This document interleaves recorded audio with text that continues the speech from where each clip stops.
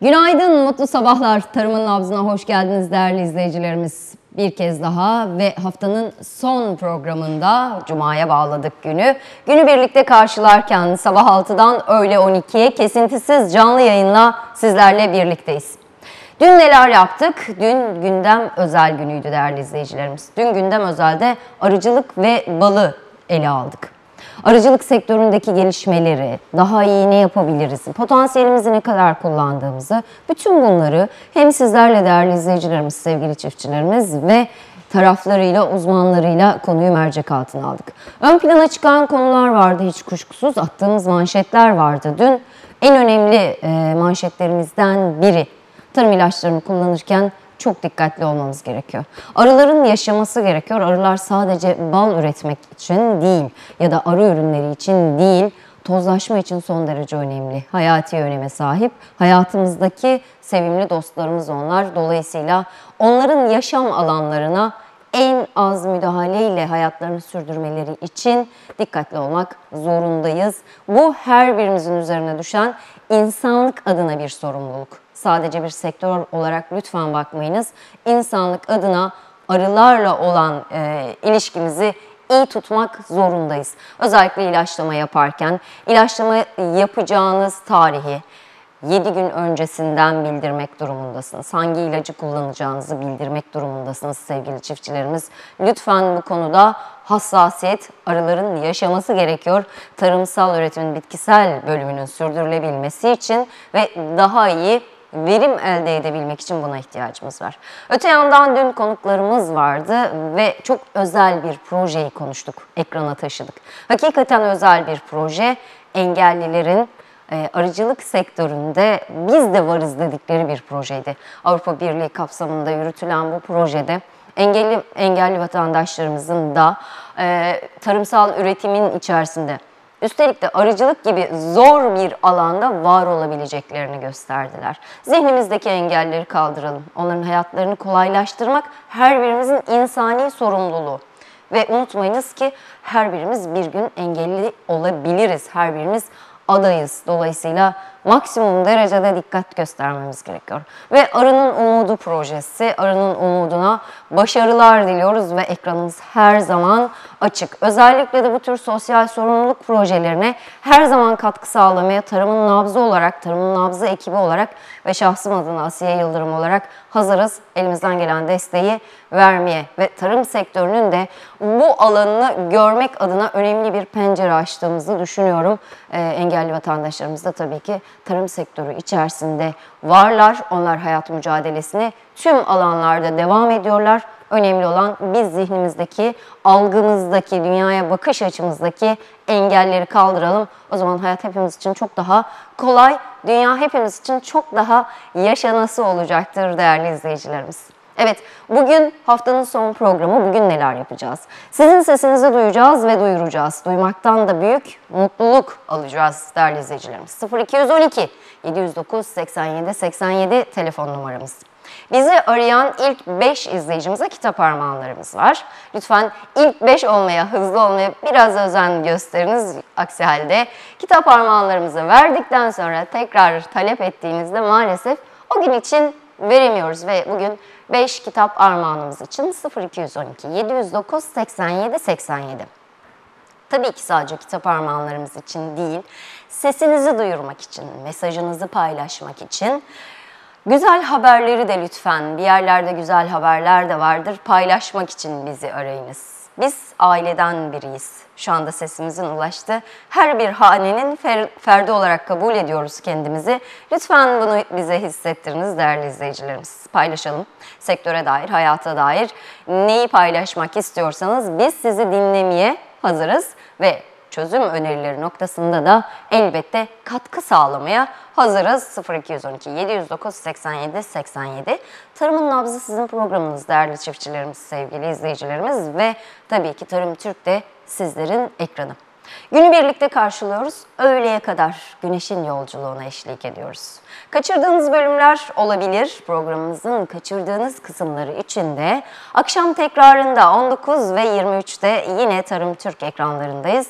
Tekrarından da tarımın nabzını takip edebilirsiniz. Dünyanın en stratejik sektörünü konuşuyoruz değerli izleyicilerimiz. Ve sizler bu sektörü var ediyorsunuz sevgili çiftçilerimiz.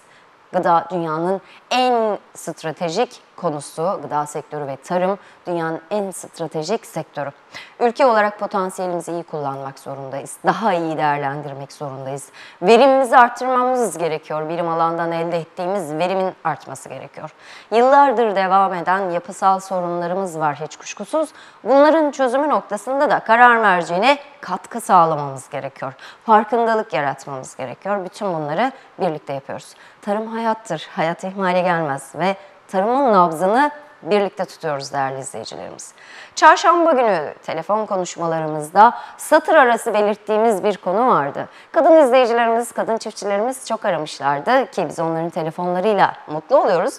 Bugün de özellikle kadın çiftçilerimizden ve kadın çiftçilerimizin hayatına dair tabii ki bütün çiftçilerimizden telefon bekliyoruz.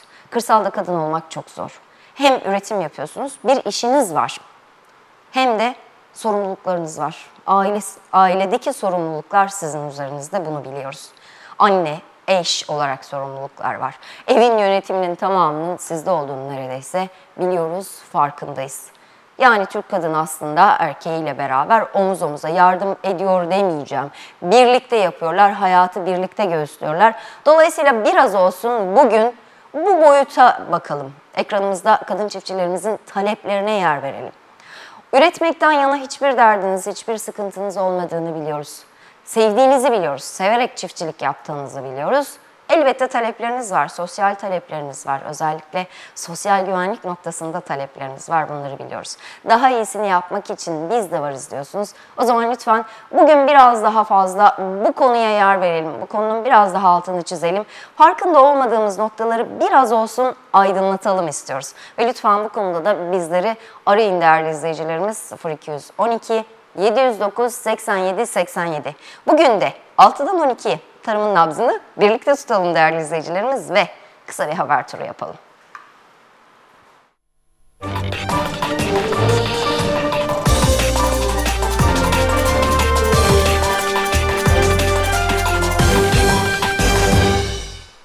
Ve haber turumuza şöyle bir bakalım. Ülkemizin dört bir yanından gelen haberlerimizi mercek altına alacağız ama önce başlıklar.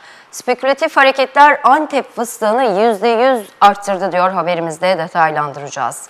Mazot, gübre ve toprak analizi desteği için ek süre bu önemli. Çiftçi kayıt sistemine kayıtlı çiftçilerin mazot, gübre ve toprak analizi desteğine başvuru süresi 21 Mart 2014 tarihine kadar uzatıldı. 21 Mart 2014 tarihine kadar uzatıldı. Muğla'da çiftçiler soğuk havadan endişeli. Evet bu kez de e, mevsim normallerinin üzerinde giden havalar birden soğudu. Bu da endişe yaratıyor sektör için. Muğla Ziraat Odası Başkanı Mehmet Başbu erken çiçek açan ağaçların önümüzdeki günlerde gelecek soğuk havadan olumsuz etkileneceğini söylemiş değerli izleyicilerimiz. Der, bu haberi de gün içerisinde detaylandıracağız. Çevre kirliliğini arılar tespit edecek. Dün e, detaylı olarak ele almıştık sevgili dostlarımız bizim arılar. Çevresel kirlenme ve etkilerini belirlemede biyolojik yapıların büyük duyarlılık gösterdiği arı ve arı ürünlerinin çevresel kirliliğin tespitinde kullanılabilecek önemli araçlar olduğu belirtildi deniliyor haberimizde. Ee, kısa haber turumuz böyle. Gün içerisinde detaylandıracağız haberlerimizi ve hava durumuyla devam edelim.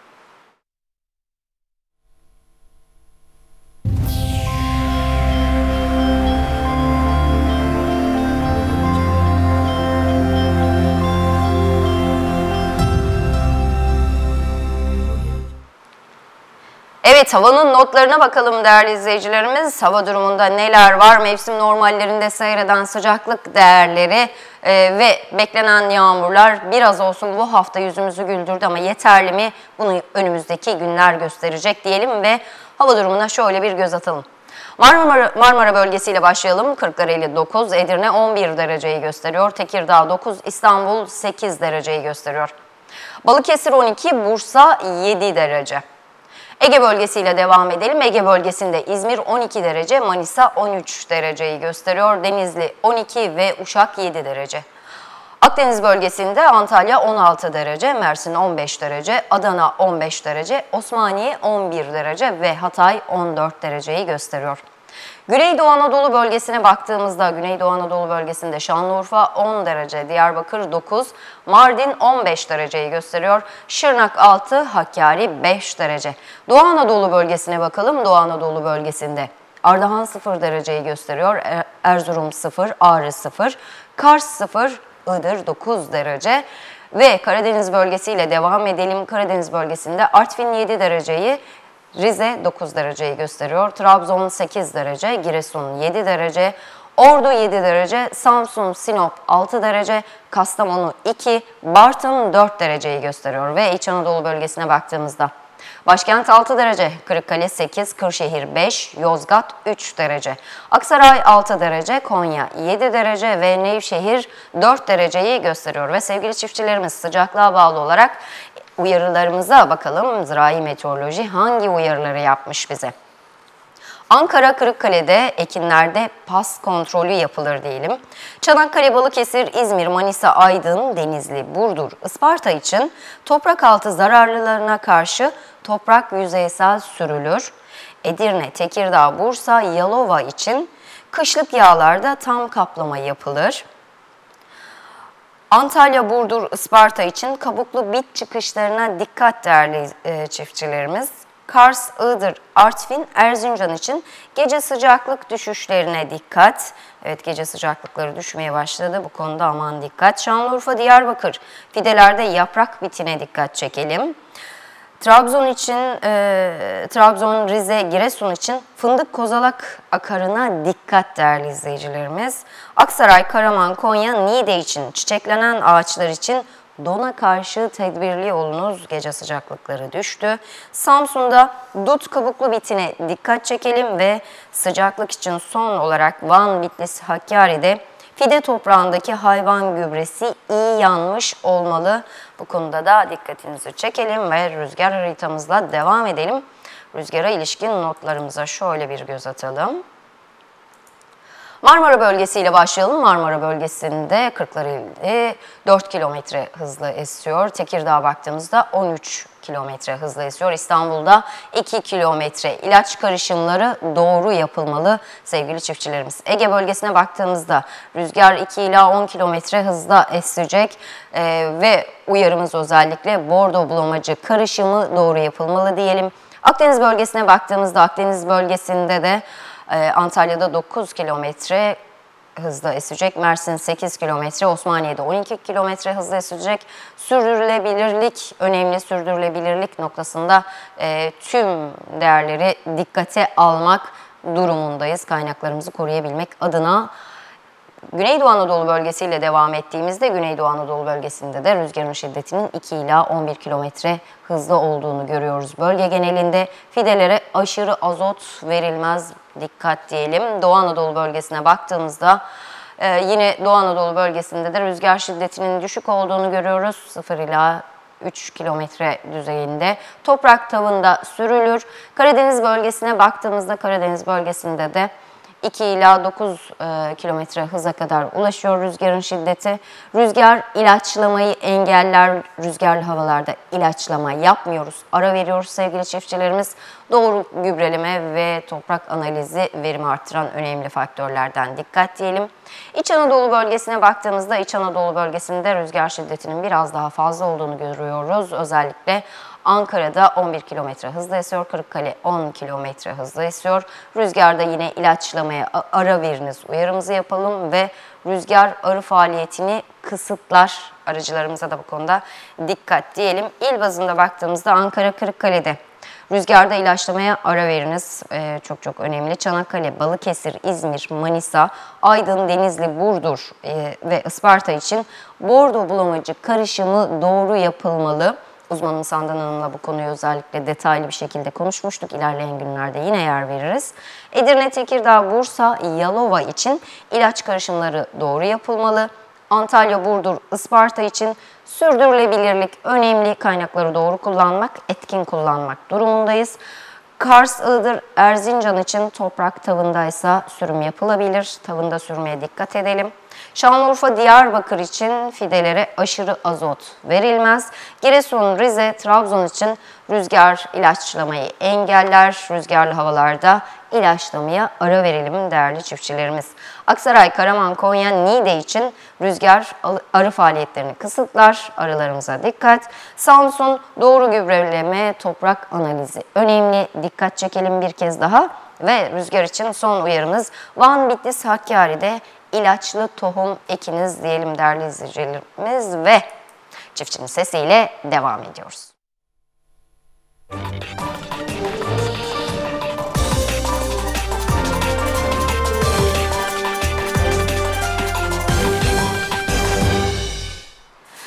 Ve telefon hattımızda Mustafa Bey var. Alo. Alo. Mustafa Bey hoş geldiniz.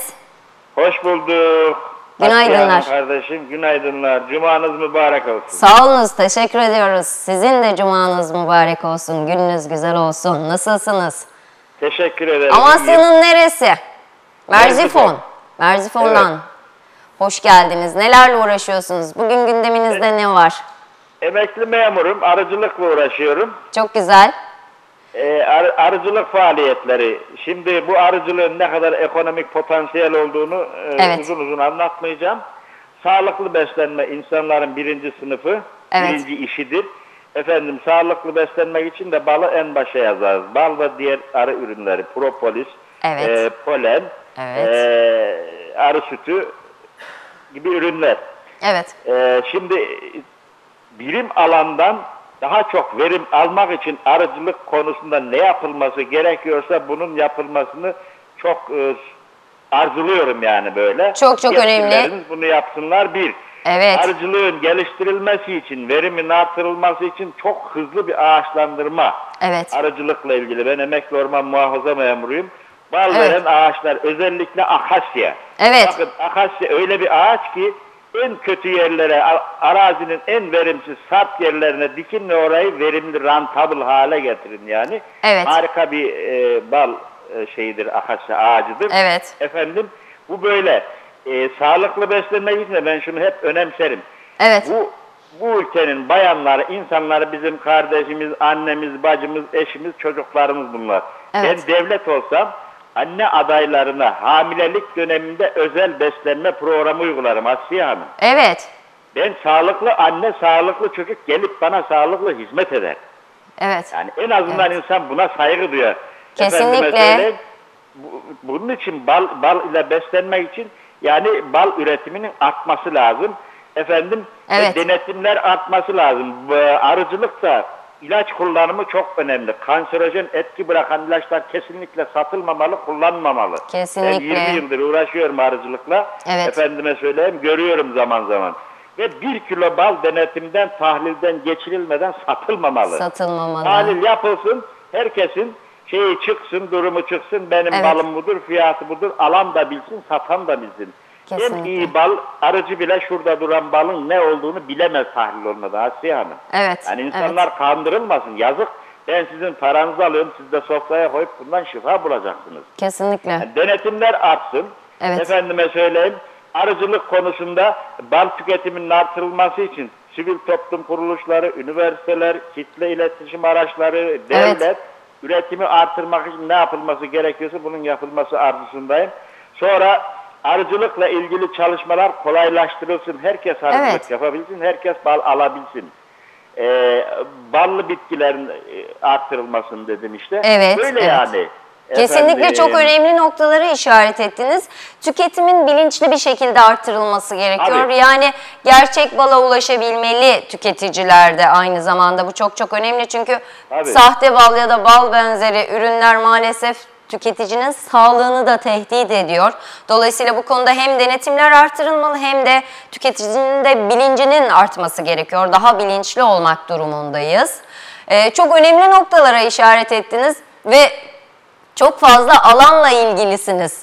Ee, sorumluluk hisseden olması gereken bir birey sesi duyuyoruz Mustafa Bey. Çok teşekkür ederiz Evet, hassasiyetiniz evet, için. Evet, Öyle işte yani. Şimdi biz ilaç Evet. kullanmak zorunda kalıyoruz. İnsanlar Evet, yani evet. vücut direncinin artırılması, bağışıklık sisteminin güçlendirilmesi için iyi beslenmek lazım. ara ürünleri en başta geliyor. Mesela Evet. propolis ekstraktı. Evet. Harika. Olur Kesinlikle. olmaz hastalığa yıkılmayacağız, yenilmeyeceğiz. Evet. Yabancının ürettiği ilacı kullanmaktan mümkün olduğu kadar uzak kalacağız. Bunun Evet. için iyi beslenmek lazım. Kesinlikle. Yani anne, anne adaylarının beslenmesini ben çok önemsiyorum. Çok çok önemli. Ben Gelecek nesli belirliyoruz.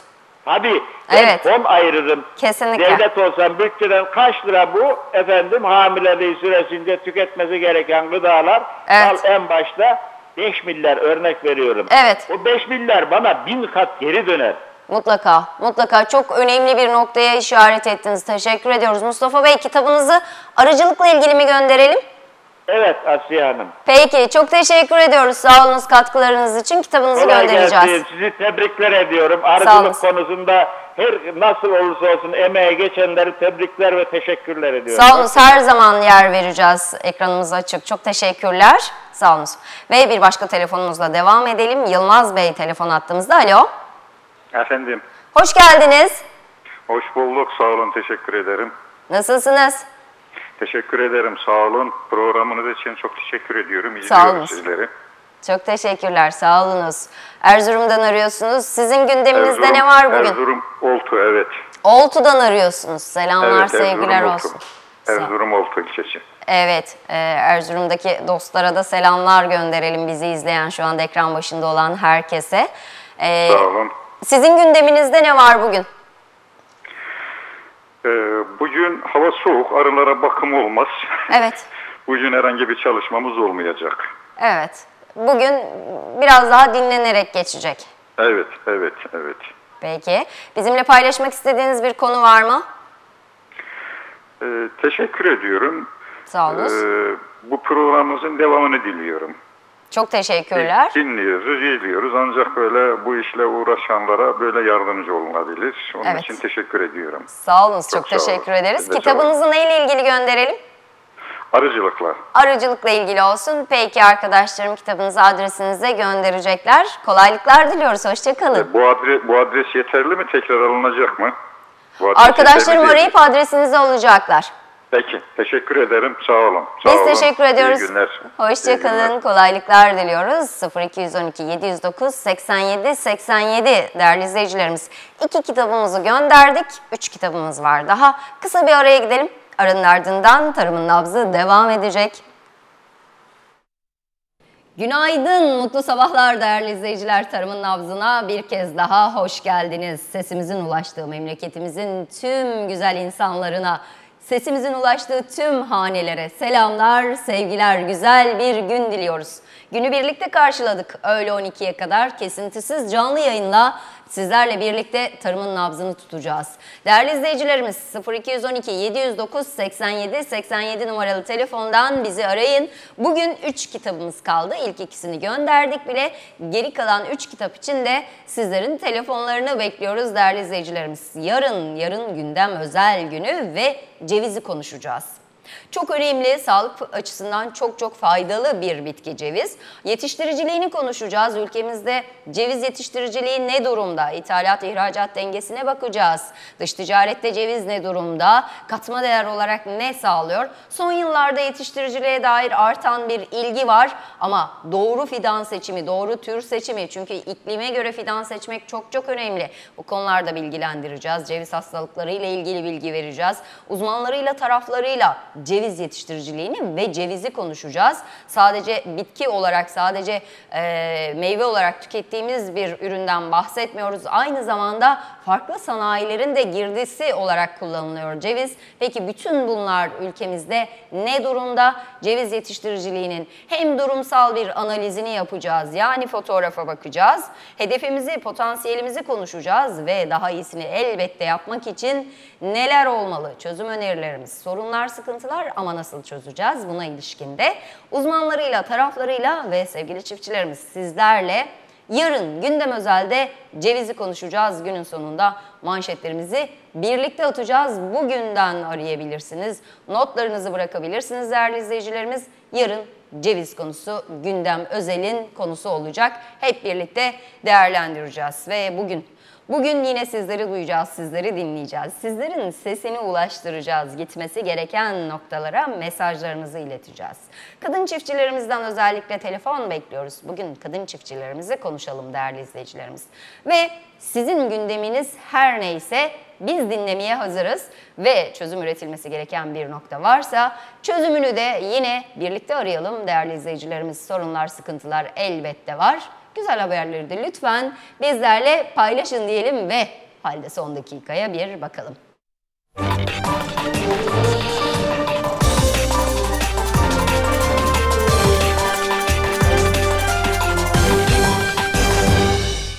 Ve değerli izleyicilerimiz hal fiyatları çok çok önemli. Üretici ürününün ne kadara satıldığını, tüketici de sağlıklı ürünlere ne kadara ulaşabileceğini bilmek ister. Hem programımız süresince ve programımız içinde hem program sonrası Tarım Türk ekranlarından hal fiyatlarını takip edebilirsiniz diyelim ve bugünün rakamlarına bir göz atalım. Bamya ile başlayalım. Bamya İstanbul halinde 7 lira, Trabzon halinde 7.25, İzmir'de 5.75 ve Kahramanmaraş halinde de 3 lira bamyanın fiyatı. Karnabahara baktığımızda İstanbul'da 1.60, Trabzon'da 0.77, İzmir halinde 0.52, Kahramanmaraş halinde 1.50 lira. Kivi ile devam edelim. Kivi İstanbul halinde 15, Trabzon halinde 4.12, İzmir halinde 3, Kahramanmaraş'ta 3.50. Dereotunun fiyatı İstanbul halinde 1.5, Trabzon'da 0.90, İzmir halinde de 0.20. Domatese baktığımızda İstanbul halinde 1.25, Trabzon halinde 1.55 ve Kahramanmaraş'ta 1.50 lira hal fiyatlarını gün boyu Tarım Türk ekranlarından takip edebilirsiniz değerli izleyicilerimiz ve Çiftçinin Sesiyle devam ediyoruz. Ve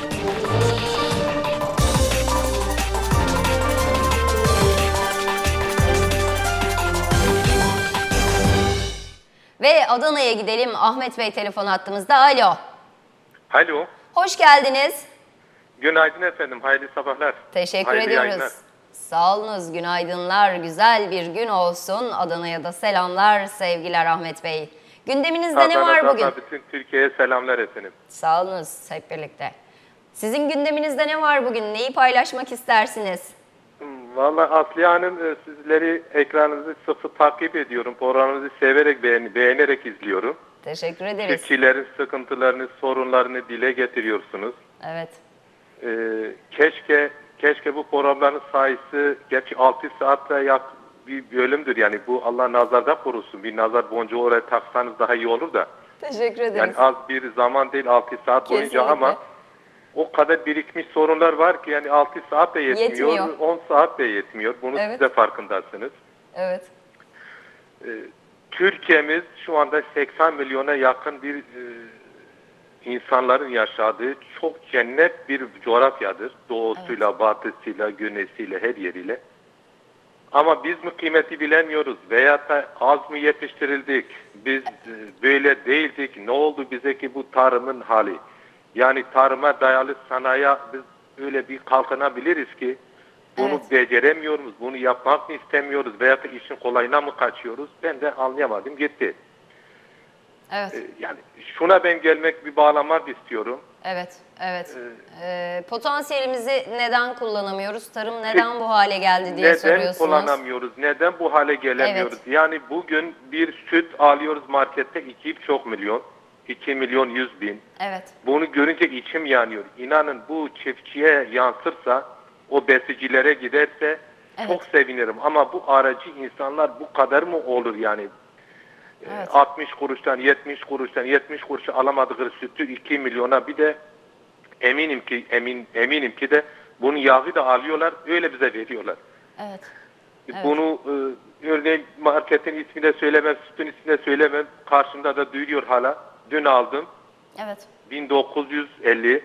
İnanın eminim ki o süt yağsızdır. Ki yağlı süt olarak da almışım. evet, evet. Bu bir örnek söylüyorum. Dur, evet. Yani öyle bir hale geldi ki şu anda e, markalı büyük firmaların suyu bizim besici kardeşlerimizin sütünden daha pahalıdır. Yani bizim sütümüz Evet. onların suyundan daha ucuz. Evet. Başka bir deyimle onların suyu bizim sütümüzden daha pahalıdır. Bunu örnekler Evet. de verebilirim eğer e, Evet. kabul etmeyenler olursa. Evet, evet, İkincisi biz pamuk ekiyoruz. Pamukla büyüdük.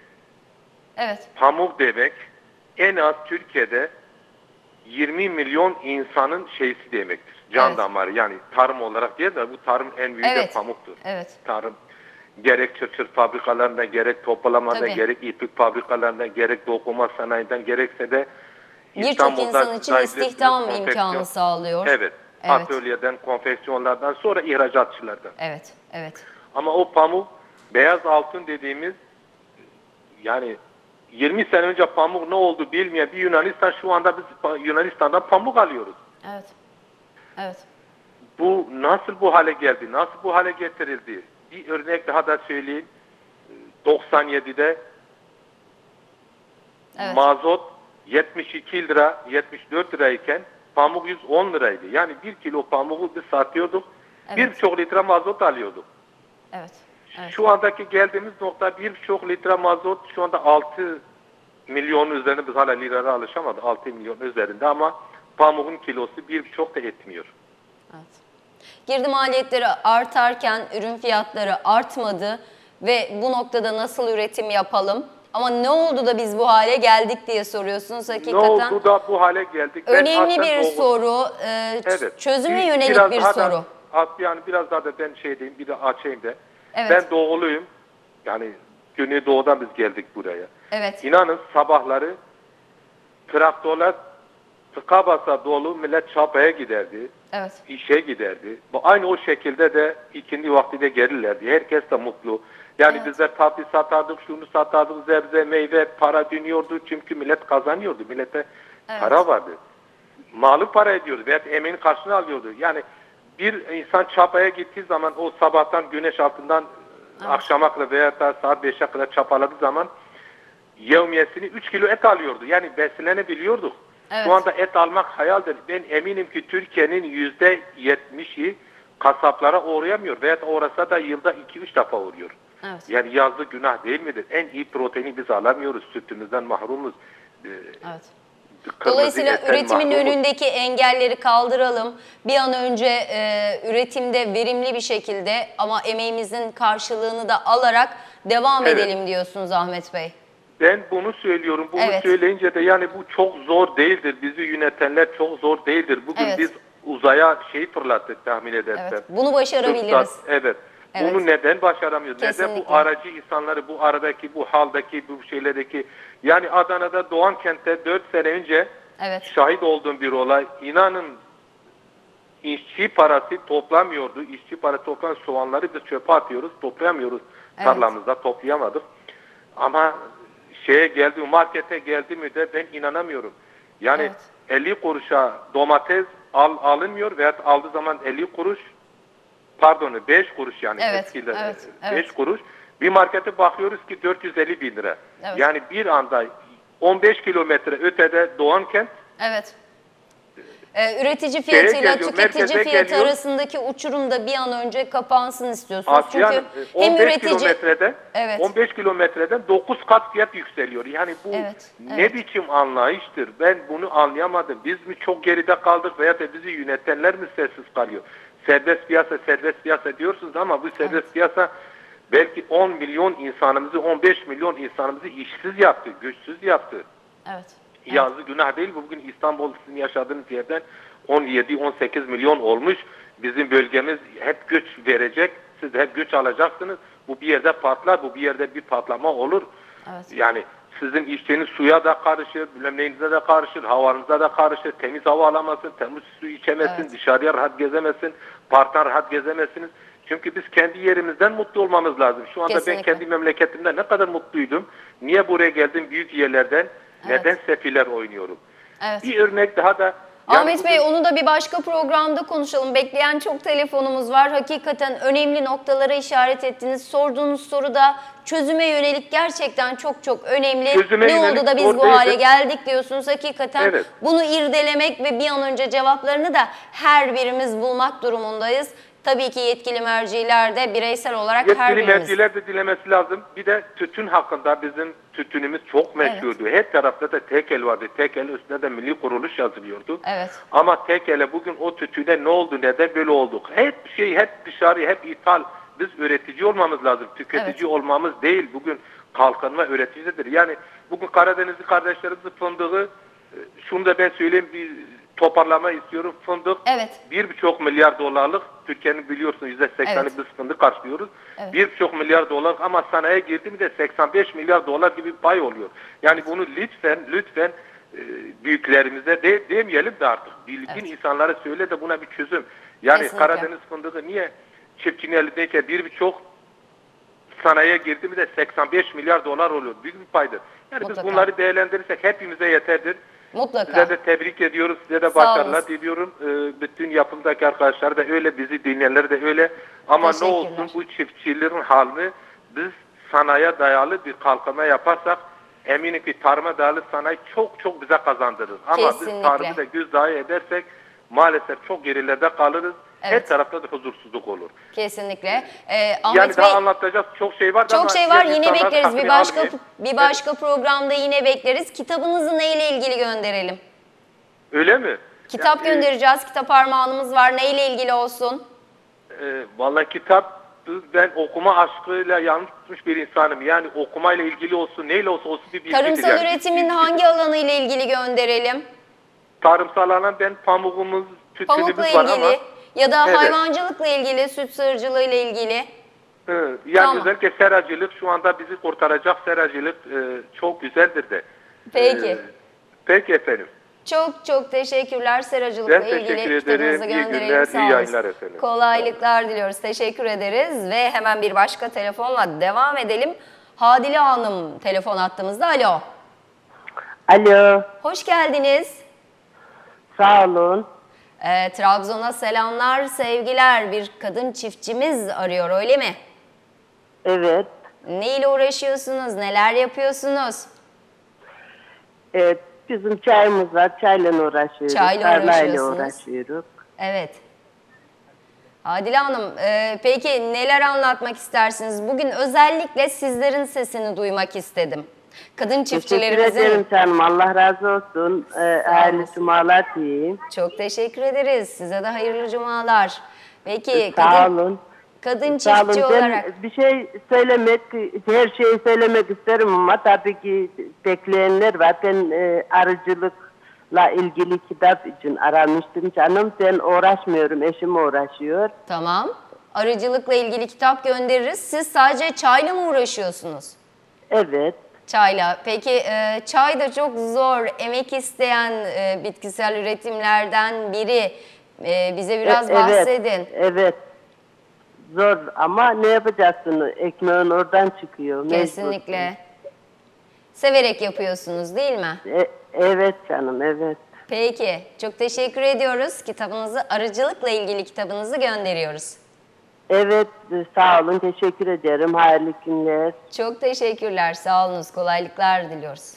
Sağ olun. iyi günler canım. Çok teşekkürler, sağ olunuz. Evet değerli izleyicilerimiz, bugün özellikle kadın çiftçilerimizin sesini duymak istiyoruz. Lütfen sesinizi bize duyurunuz. Bölgenizde, yörenizde neler oluyor? Güzellikler de vardır, onları da paylaşalım. Karşılaştığınız sorunlar, beklentileriniz lütfen onlardan da bahsedin. Daha iyisini yapmak için elbette sürdürülebilirlik adına ve kadın olmak, kadın çiftçi olmak Hakikaten zor. Ben bunu söylerken elbette gözlemlerime dayanarak, sizlerle sahada yaptığım paylaşımlara dayanarak söylüyorum ama eminim yaşamak çok başka bir şey. Dolayısıyla sizler yaşıyorsunuz, sizlerin sesinden duymak ve duyurmak isteriz. Eminim vermek istediğiniz mesajlar vardır. Lütfen bunlar için bizi arayın değerli izleyicilerimiz. 0212 709 87 87 ve kadın eli değen her şey eminim çok güzelleşiyordur. Çiftçi e, tarımda da tarımsal üretimimizde de çok önemli bir görevi yerine getiriyorsunuz. Çok zor bir mesleği severek yaptığınızı biliyoruz. Lütfen bunları bizimle paylaşınız. Sesiniz olalım, sesinizi duyuralım. Sevgili çiftçilerimiz özellikle de kadın çiftçilerimize bugün ekranımızda pozitif ayrımcılık yapalım istedik. Bu kadarı çok olmasa gerek diye düşünüyorum ve elbette tarımın nabzı tüm tarım sektörü için e, açık. tüm sorunları birlikte konuşuyoruz ve çözüme ilişkin birlikte e, cevap üretmeye çalışıyoruz değerli izleyicilerimiz. Ve yarın cevizi konuşacağız. Yarın ceviz yetiştiriciliği, ülkemizde ceviz yetiştiriciliği, dünyada gelişmeler ne doğrultuda? Türler, özellikle yeni yetiştiriciler için iklim koşullarına ve coğrafi yapıya uygun tür seçmek durumundasınız. Çok fazla tür var. Dolayısıyla bunları mercek altına alacağız. Sizleri dinleyeceğiz, uzmanlarını dinleyeceğiz ve bilgilendireceğiz elbette. Daha iyisi için e, çünkü ceviz çok çok önemli bir ürün. Aynı zamanda sanayi ürünü olduğunu, sanayi altyapısı olduğunu, kozmetik ve ilaç sanayinde çok çok önemli olduğunu biliyoruz. Ayrıca bir başka boyutu da elbette mobilya sanayi. Orada da başka bir boyut var. Bunları da konuşacağız. Çok yönlü ve biz her yönüyle değerlendireceğiz yarın sizlerle birlikte özellikle ceviz yetiştiricilerimizin telefonlarını da bekliyoruz. Tecrübelerinizi bizlerle paylaşınız ve bir başka telefonla devam edelim. Hayri Bey hoş geldiniz. Sağ olun, hoş bulduk. Günaydın Asya Hanım. Günaydın, nasılsınız? Şükür, Allah'ın hükmüne şükür. İyiyim. Sizler nasılsınız? Teşekkür ediyoruz. Bizler de gayet iyiyiz, mutluyuz. Nevşehir'den bizi aradınız. Sesinizi duymaktan Evet. mutlu oluyoruz. Nevşehir'de Sağ olun. patates mi üretiyorsunuz? Evet.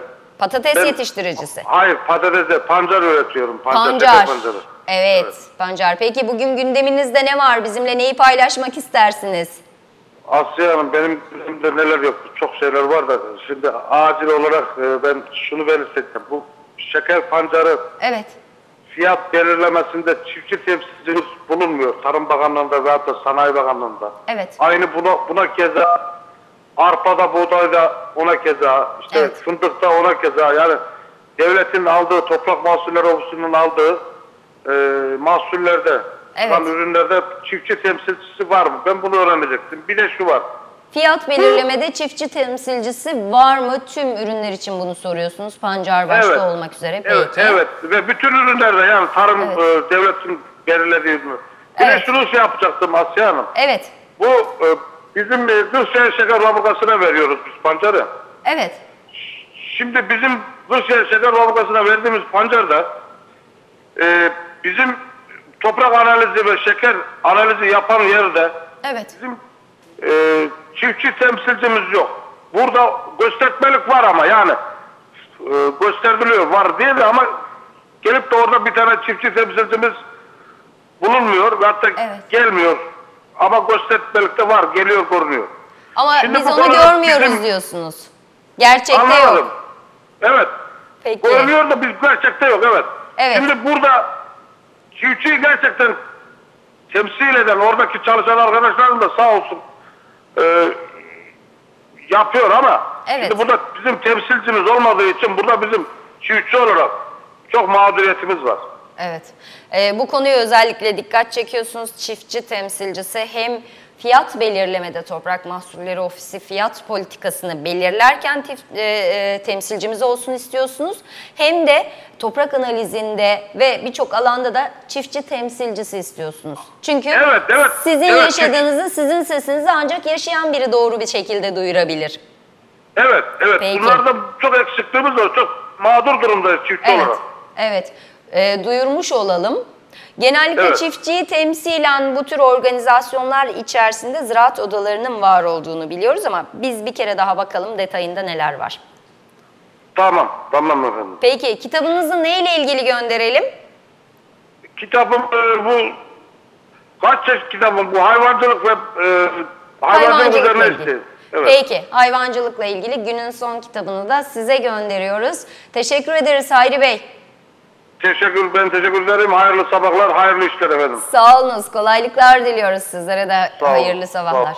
Sağ olunuz. Çok teşekkürler değerli izleyicilerimiz. Bugün kitap armağanlarımızı bitirdik. Ama gün içerisinde sizin gündeminizde ne var konuşmak için, sesinizi duymak ve duyurmak için 0212 709 87 87 kısa bir araya gidelim. Çaylarımızı tazeleyelim. Aranın ardından tarımın nabzını birlikte tutalım. Günaydın, mutlu sabahlar değerli izleyiciler. Tarımın nabzına, Tarım Türk ekranlarına hoş geldiniz. Günü birlikte karşıladık. Öğle 12'ye kesintisiz canlı yayınla Tarımın nabzını birlikte tutacağız değerli izleyicilerimiz.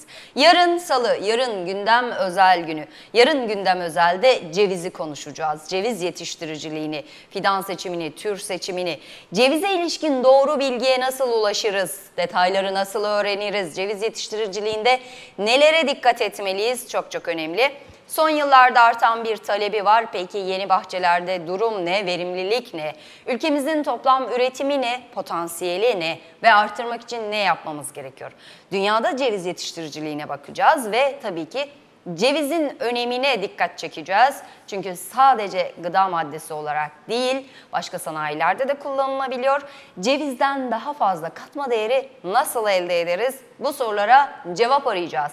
Sizlerle sevgili çiftçilerimiz uzmanlarıyla ve taraflarıyla yarın gündem özelde cevizi konuşacağız. Ve bugün, bugün haftanın son gününde, son tarımın nabzında sizlerle birlikte sizlerin gündemini konuşacağız. Haberlerimizi detaylandıracağız. Hal fiyatlarımız, hava durumumuz yine devam edecek ve Bugün özellikle kadın çiftçilerimizden telefon bekliyoruz. Onların sesini duymak ve biraz fazla duyurmak istiyoruz. Biliyoruz ki geri planda kalıyorlar. Tarımsal üretimde esasında ana eksende duran yardımcı falan değil. Türk kadını erkeğiyle beraber tarımsal üretimin her alanında, her noktasında üretime devam ediyor ve sadece tarımsal üretim değil, beraberinde kadın olarak, anne olarak ve evin tüm yönetimiyle sorumlulukları var. Dolayısıyla sizin sesinizi biraz daha fazla duymak istiyoruz bugün. Lütfen bizi arayın. 0212 709 87 87 ve sesinizi hep birlikte duyalım, duyuralım, mesajlarınızı iletin ve güzellikleri de birlikte paylaşalım bugüne dair ve çiftçinin sesiyle devam edelim.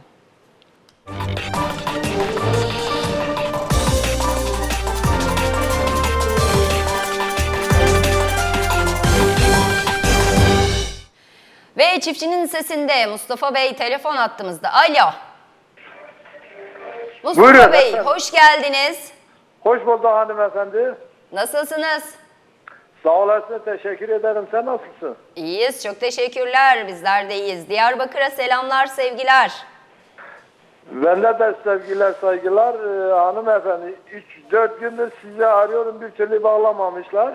Bugün bağlandınız. Evet. Çünkü Ee, çok yoğun. e, hanımefendi, bizim sorularımız çoktur. Yani Evet. söyle söyle bitmiyor. Dinleyelim, buyurun.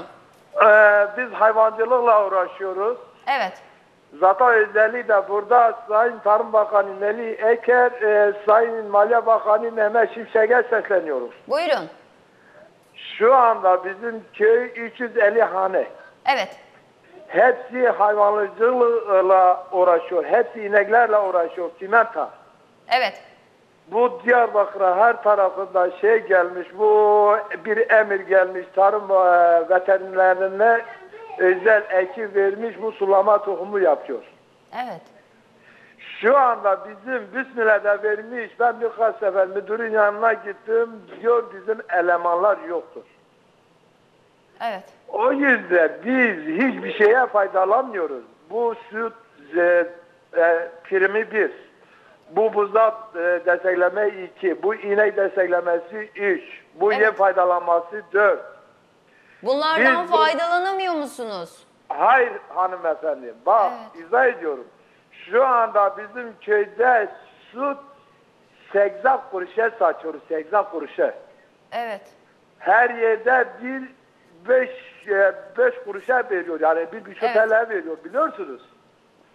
Farklılık Şu gösteriyor. bu evet. bize bir alan özel e, sekretör alıyor. Yani bu e, fabrika şeyli almıyor, e, faturalı almıyor.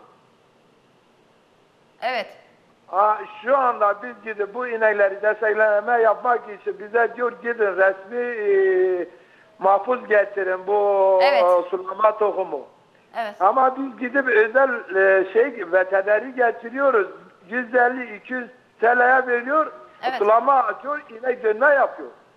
Bir Peki. sefer, iki sefer, üç sefer bazılar dönme yapıyor. Ama bunu bir hesapla her seferde 150-200 lirayı şeye vereyim, e, veterinere vereyim. evet. Bu nerede çıkıyor? Nereye gidiyor? Peki.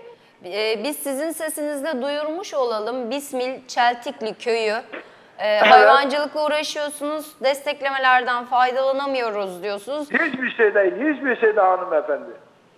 Peki sorunu Hiçbir biz şey- sizin şu an- sesinizle duyurmuş olalım. Hanımefendi şu Evet. anda siz bir hazır suyu 500 dilim ne kadar alıyorsunuz? Evet. Yani bak 80 kuruşa su nereye gidiyor bir düşünün yani. Bir ara Evet. sanki götürüp çocuklar dökelim ya. Artık yeter ya yani bunu. Aa, Bir ricada bulunuyorum. Evet. Hayvancılıkla ilgili bir kitap bize gönderse çok sevinirim. Hayvancılıkla ilgili kitap. Evet çok sevinirim. Çünkü hayvancılık bizim mesleğim yani dedemden bu mesleği devam ediyoruz biz. Evet. Ee, hayvancılıkla ilgili kitap gönderelim ama bugün kitaplarımızı gönderdik. Pazartesi arayın gönderelim. Pazartesi saat kaçta? Tamam siz bizi pazartesi arayın. Ee, sabah erkenden 6 ile 7 arasında hızlı olmanız gerekiyor. İlk 5 izleyicimize verebiliyoruz Mustafa Bey. Tamam mı? Ya, tamam oradan not alın yine yine sizi arayacağım yine özellikle ve özellikle Tarım Bakanı Melih Ekek, Mahalle Bakanı Mehmet Şimşek Batmalı'dır. Tarım Peki. Bakanı Melih Ekek bütün akrabaları burada tanıyorum. Yani artık bu çileyi bizi kurtarsın. Bu olmuyorsa böyle yapmıyorsa her yerde destekleme var.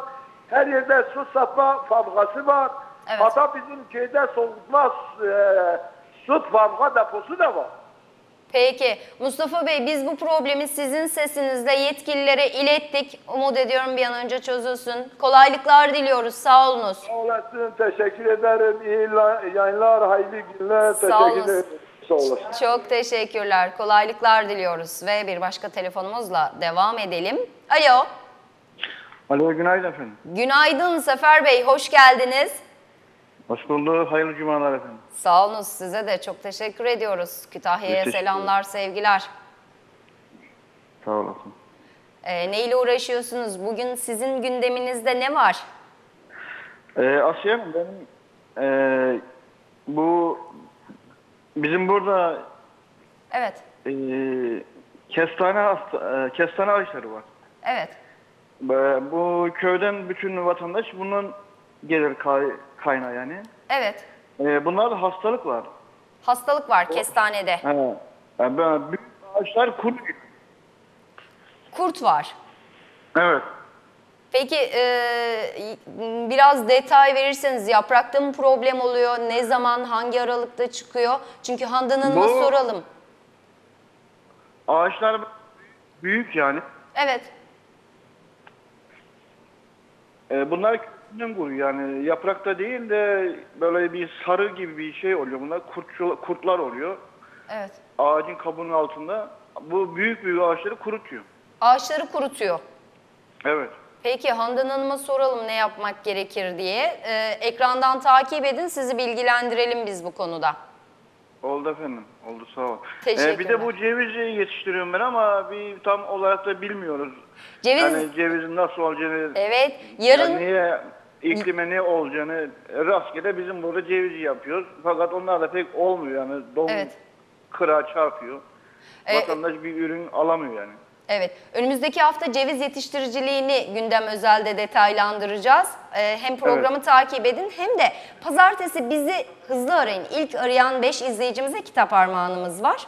O yüzden e, pazartesi ararsanız hem e, ilk aramanız lazım. Ceviz yetiştiriciliği ile ilgili kitabınızı göndeririz. Hem de haftaya gündem özelde ceviz yetiştiriciliğini detaylandıracağız. Oradan da bilgi edinebilirsiniz. Tamam efendim. Oldu. Uzmanlarına Oldu. soracağız. Peki. Sağ ol. Teşekkür ederim. Sağ olunuz. Çok teşekkür ediyoruz. Kolaylıklar diliyoruz. Osman Bey telefon attığımızda. Alo. Alo, Hoş geldiniz. hoş gördük efendim. Nasılsınız? Şükür Allah'a sizleri sormalı. Teşekkür ederiz. Bizler de iyiyiz. Ee, bugün gündeminizde ne var Osman Bey? E, Gündemimizde bugün e, nasıl olursa bağ keseceğim. Evet. bağ bulacağım yani. Bizimle neyi paylaşmak istersiniz? Sizinle ben e, ceviz konusunda görüşmek istiyordum ama Evet. e, ya bu programdan dolayı önce bir teşekkür edeyim ben sizlere. Sağ olunuz. E, bu memleket geç uyandı. Biraz çok geri kaldık. Daha önceleri yapılması gerekiyordu ama yine de e, bugün erken. E, ondan dolayı Evet. E, ceviz yetiştiriciliğine ne zaman başladınız? Yapıyor musunuz şu anda? Ceviz yetiştiriciliğine 3 senedir araştırmasını yapıyoruz. Bu böyle yani mıntıkamızda olacak cevizleri önce e, e, aşıladık. Çok çeşitli cevizler aşıladık. Fakat Ketner'de mutabık kaldık. Evet. E, ondan dolayı e, bölgemizde, çevremizde 10 bin belki deli ceviz var. Evet. E, bunların e, aşılaması için bir yardımcı olursa çok e, memnun olacaktık. Ben Tabii kendim aşı yapıyorum. Evet, şöyle yapalım Ha, fakat- Osman, Osman Ha, Bey haftaya evet haftaya gündem özelde ceviz yetiştiriciliğini detaylandıracağız. Bütün Tamam, aşılamasını, hastalıklarını, türlerini Evet. uzmanlarıyla konuşacağız. Programı takip Evet. edin. Ee, oradaki bilgiler mutlaka işinize yarayacaktır. Zaten hiç, kaçırmıyorum ben. Çok teşekkür ben ederiz. onları mutlak surette seyrediyorum. Ha, kendim ceviz aşısı yapıyorum yani. Ceviz aşısı benim yapmamla yapıyorsunuz. da olacak bir şey değil. Evet. Ha, ondan dolayı e, yetkililerden biraz yardım olsa çok daha iyi olacak. Yok başka yapan yok çevrede. Evet. Ha, Evet. Ondan Şu- dolayı bu bölgeyi Evet. bunu uyaralım diye kendi çevremizi ondan e, Evet. aramıştım sizi.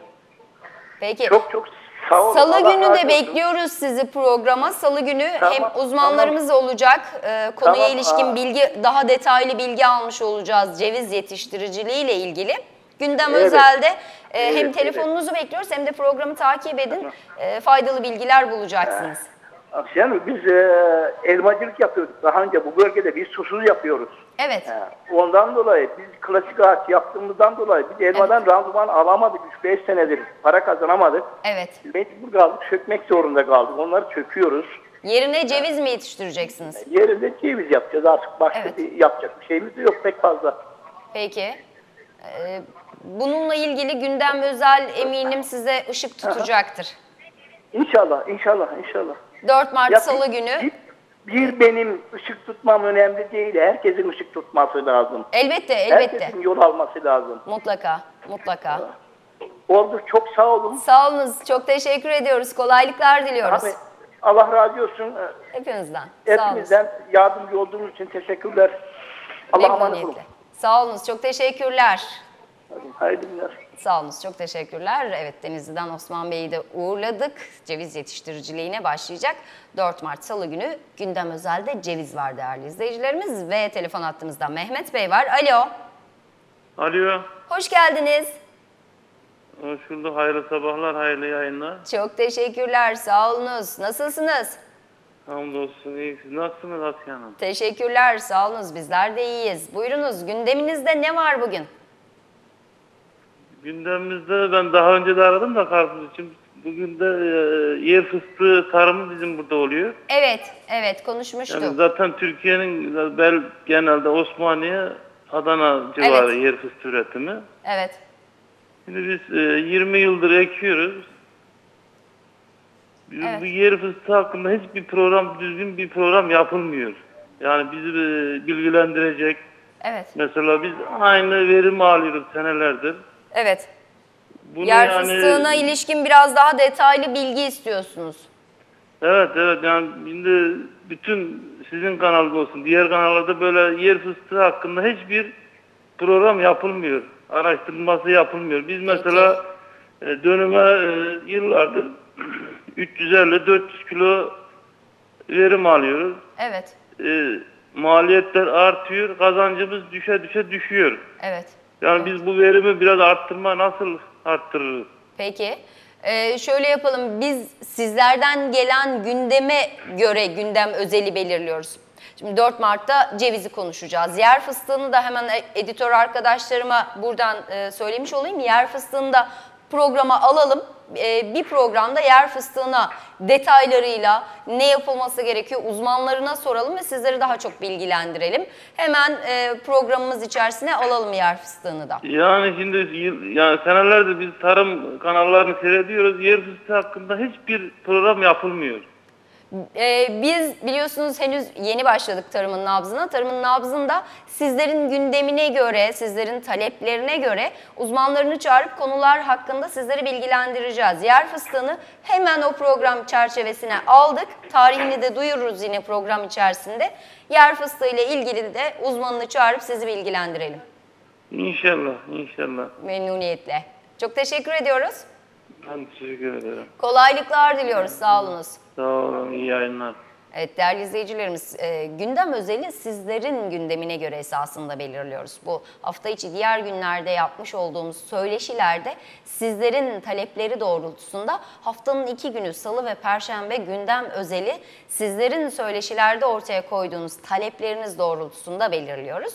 Dolayısıyla evet yer fıstığını da mutlaka bu kapsam içerisine alıp uzmanlarımızla sizleri bilgilendireceğiz. Programımız içerisinde farklı bölümler de açacağız yine ilerleyen günlerde. Sizlerin sorularına canlı yayında yine uzmanlarımız cevap vermeye devam edecekler. Dolayısıyla birlikte tarımın nabzını tutuyoruz. Faydalı olabilmek adına, sizlere faydalı olabilmek, ışık tutabilmek adına yapılması gereken her yeniliğe de açığız. Bunu da belirtelim ve bir başka telefonumuzla devam edelim. Alo. Alo, Salih Bey hoş geldiniz. Hoş bulduk. Nasılsınız? Hayırlı sabahlar. Hayırlı Teşekkür yayınlar. ediyoruz. Size de hayırlı sabahlar, güzel bir gün olsun. Siz nasılsınız? Teşekkür ederim. Ben de iyiyim. Ee, ben Aksaki Cendere Köyü Muhtarı Salih Çelik. Hoş Ee, geldiniz. hoş bulduk. Benim şöyle bir sorunum var. Bizim bu Orman Köyü, Aksaki'nin Cendere Köyü. Evet, Ee, burada sulu tarım yapılıyor. Ee, ama bu tarım tamamıyla kalktı. Burada bizim köyümüzde bir sürücü var. Evet. gitmediğimiz, e, başvurmadığımız e, bir birim kalmadı. Bu adam e, sürüleri işte atıyorum 300 tane davarı var. E, 150 kadar 100 kadar yaran rakamını da tam olaraktan da bilmiyorum. İnekleri var, büyükbaş hayvanları. Tarlaların içerisinde.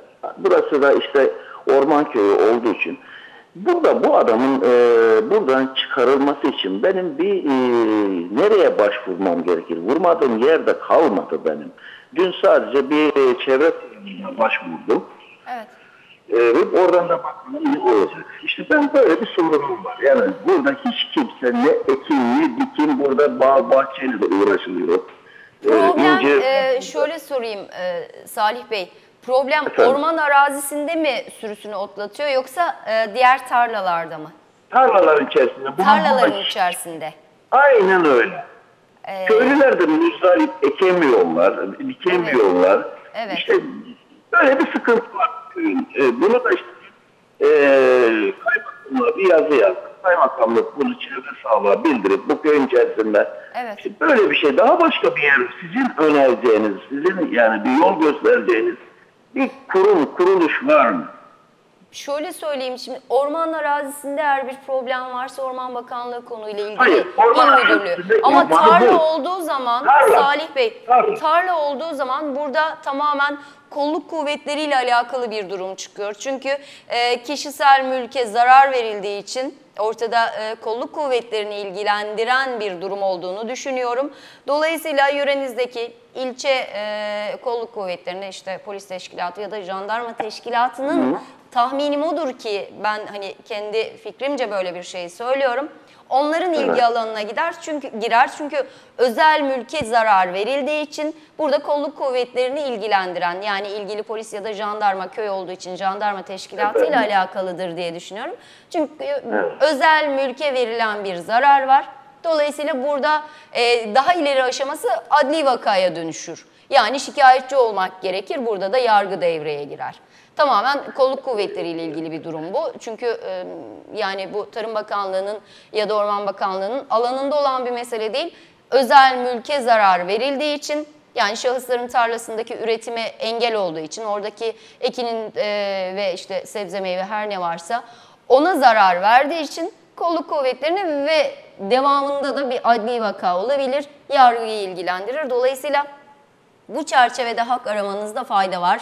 Böyle yönlendirelim sizi. Ee, benim e, başvurmadığım e, kurum ve kuruluş kalmadı. Yani e, nasıl sana söyleyeyim ta Cumhurbaşkanlığından Başbakanımıza kadar, Sayın Başbakanımıza kadar, İçişleri Bakanı'na kadar böyle şeylerde bulunduk. Sadece bana gelen e, şey şu. Savcılık kanalıyla şikayetçi olmanız bile esasında yeterli olur. Çünkü dediğim gibi özel mülke zarar verildiği için burada tamamen kişisel e, bir problem var, bir hukuk devreye girer. Dolayısıyla şikayetçi olmanız gerekiyor. Yani şahsın e, sürüsü sizin tarlanıza, arazinize, ürününüze zarar veriyor. Bu tamamen e, dediğim gibi kolluk kuvvetleri ve yargıyı ilgilendiren bir mevzu. Çünkü hani diğer anlamda işte bakanlıkların e, veya işte Sayın Cumhurbaşkanı'nın devreye girmesini gerektirecek kadar büyük bir problem değil diye düşünüyorum. Doğrudur. doğrudur. Peki bunu e, kişiyle sempatik ilişkilerle çözemiyor musunuz? Çözülmüyor. Çözülmesi de mümkün değil. Mümkün Çözülmesi değil. de mümkün değil. Mümkün değil yani. Ee, şey yapmıyor yani. Ee, anlaşılacak bir tipe sahip değil. Peki, peki. Ancak bu şekilde olabilir. Kolaylıklar diliyoruz Salih Bey. Çok teşekkür ederim. Sağ olun. İyi yayınlar. Teşekkürler, sağ olun, hoşçakalın. Sağ olun. Böyle bir program yaptığınız için de çok teşekkür ederim. Biz teşekkürler, kolaylıklar diliyoruz. Ve değerli izleyicilerimiz Tarım Akademisi ile devam edelim.